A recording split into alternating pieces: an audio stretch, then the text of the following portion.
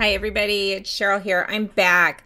This video is going to be a little bit longer. This is going to be a make me an offer video. I have a few things, like I said in one of my last videos, and I, I know I've said it before, they're doing some uh, upgrades and remodels on my house, and since I've been forced to share my work area with the entire house here, trying, you know, I got stuff everywhere. I've been forced to kind of start going through my things and um, I'm, I'm just getting rid of things I don't use, don't need.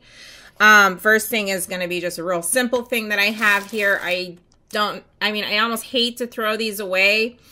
And I figure you guys might be able to use them. I know I've, I've seen you guys use these things for making jewelry where you fill them up, made necklaces. These are those, um, those little jars that and I have two different sizes in here. You know, the little glass jars that the, the glitters and stuff comes in.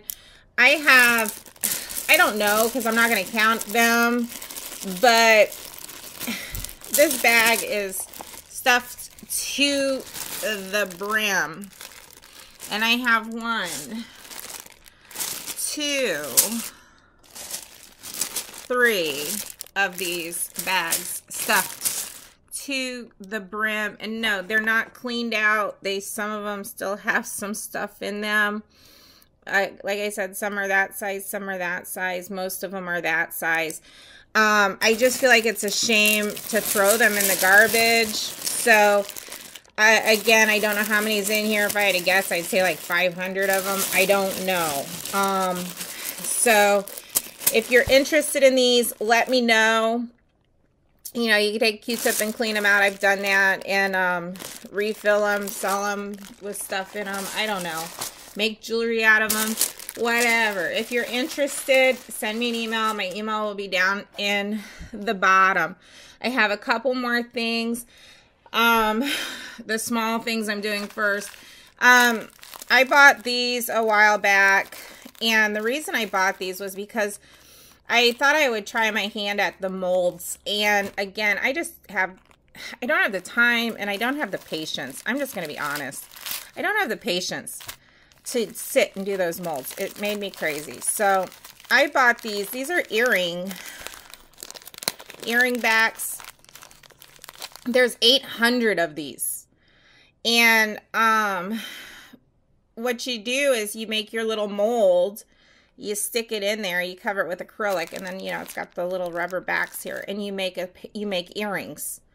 So, um, I don't know if you can see how long they are, but I think that's like a two millimeter disc, maybe a three millimeter. I'm not really sure. I'm not going to measure it again. Like I said, there's 800 of these earring backs or earring studs, I guess you call them. And then earring backs, 800.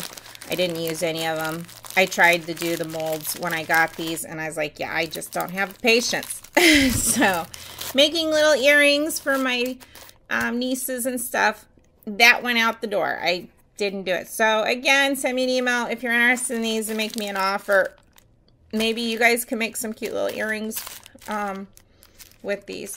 Um, oh, I got the hiccups. Sorry. Next thing I, oh my gosh, hiccups. Sorry about that.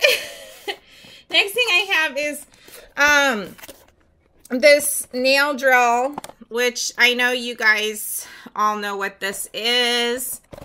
Um, I never even pulled it out of the box, but I'm going to pull it out of the box and I'm going to include all these little sand bands with it. And the reason I'm getting rid of this one is this was one I bought as a backup for the one that I was using for two years. And the one I used for two years just never broke. So I never needed the backup. I bought this about, I don't know, six or eight months ago because I was figuring it was going to break, but it never did. So I ended up buying a different one as you guys saw in my one video. But I am going to take this out just to show that it does work and it's got all of its pieces and then I'll put it all back nicely in the box. And this is another thing. Send me an email, make an offer. You know, you're getting this this with it. Um, the instructions, the plug, and the little doohickey thingy here. So I just want to show. I'm not going to un... I got an extension cord here. I hope this is safe. Um, So you can hear it runs nice. There's not a lot of excess noise. So um, just want you to hear that. It's not a bad one. So it's got a nice, it's not vibrating. This is actually the first time I've tried it out. So, alrighty. So I have that. If you are interested, make me an offer.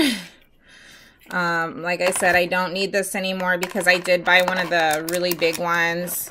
Um, the 30, I think it's a 30,000 RPM one. So I don't need this any longer. I'm trying to get this back into the box. Um, the third thing that I am asking for you to make an offer on and oh and with the and don't forget you're getting several of these i don't know how many of i don't know how many are in here. I think it's a hundred. I'm not sure. Again i'm not counting them but i think it's a hundred.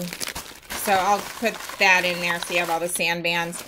Um and this uv light it's a nine watt gel um, curing uv light the reason I have this is because I I actually bought this one for myself and my husband didn't tell me but he bought me one too. And the one he bought me was a little bit bigger so I ended up keeping that one.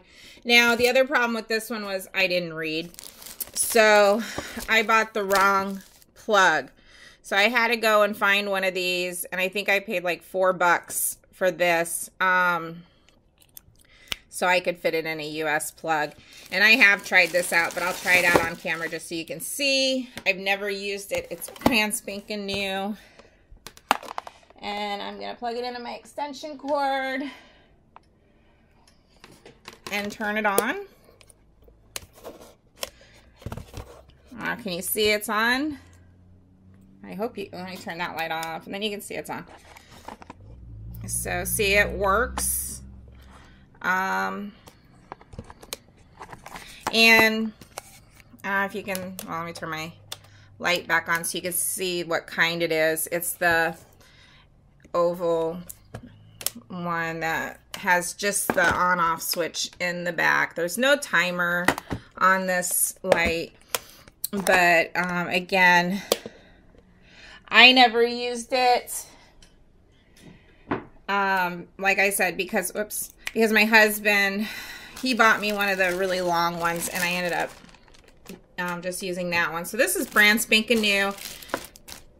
Has the box. It's a 9 watt gel curing light. So, and I, I will, of course, include that plug thing with it. So, all of that stuff. Again, I'll put my, um, email down in the description. Just send me an email, make me an offer on whatever you would like. Um, keep in mind, if you, I'm in the United States, so if you live out of the U.S., depending on what you're getting, I'll have to give you what it's going to cost for shipping. If you're in the U.S., um, again, same thing. Just tell me what you're interested in, and I will, um, figure out the shipping total for you. It shouldn't be too much for the smaller things and even the bigger things shouldn't be too much because I think I could fit um, everything but the UV lamp. The UV lamp I'm going to have to put in a box, but everything else can go in a flat rate type mailer. Um, the glass jars I may have to figure out putting those in a box just so they don't break. But we'll figure it out. We'll get it all figured out so it's fair because I want to get it out of here and it's just, I'm not using it. You guys could. So again just let me know. So anyway i'm going to cut this video off now. So thanks for watching. Comment down below if you have any questions or send me an email. Um, i'll try to get back to you as soon as possible and we'll get this you know figure this all out. So anyway thank you everybody for watching